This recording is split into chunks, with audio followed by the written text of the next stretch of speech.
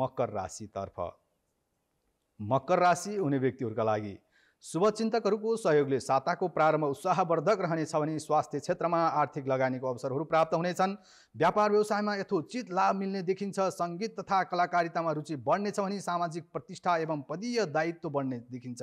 शैक्षिक प्रतिस्पर्धामा विजय प्राप्त हुनेछ भने न्यायिक तथा सामाजिक क्षेत्रमा सफलता हात लाग्नेछ।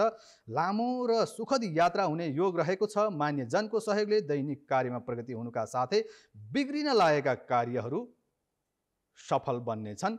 त्यस्तै गरेर वैदेशिक रोजगारको उपयुक्त वातावरण बन्ने छ भने साताको अन्त्यमा भने निर्णायक क्षमतामा कमी आउने देखिन्छ।